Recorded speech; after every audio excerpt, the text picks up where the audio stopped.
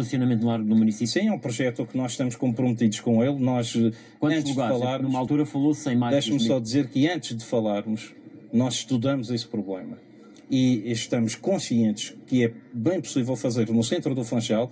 Não vai ser eh, apenas o projeto do Largo do Município. Esse é um dos projetos que nós temos para eh, termos mais estacionamentos no centro Mais ou na lugares? baixa do ali no centro da frente do, da Câmara, no Largo do Município, entre 250 a 300 lugares. Uhum. Mas há outros espaços onde vão ser feitas as construções, também no centro do Funchal, Há uma questão que para tem criar mais que é que o estacionamento. facto de, de ali naquela zona à volta serem todos edifícios classificados Essa, essa questão essa, salvaguardada, edificação, essa edificação será feita única e exclusivamente na zona onde está o passeio do Largo do Município. Portanto, não vai interferir com nada a construção, nem as bases dos edifícios que estão ali à volta. nem a com o edifício da obra, Câmara, decorrer da obra poderá ter nem com o algo- edifício da Câmara, nem com o edifício do Museu da Arte Nem Sacra, nem com o edifício da Igreja, nem com o edifício que está à frente, eh, onde era uma antiga instituição financeira. Portanto, não vai criar nem vai mexer nas bases de qualquer um desses edifícios. Nós tivemos um projeto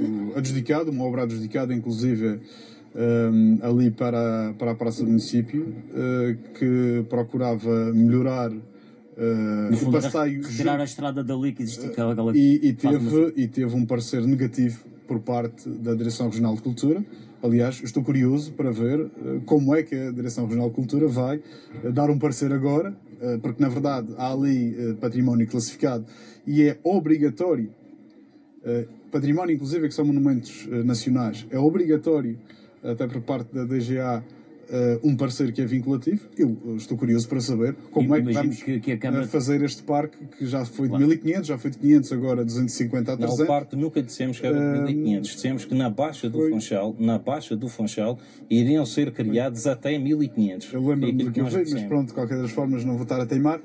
Eh, estou curioso para saber como é que eh, será revertida Imagino que a. Câmara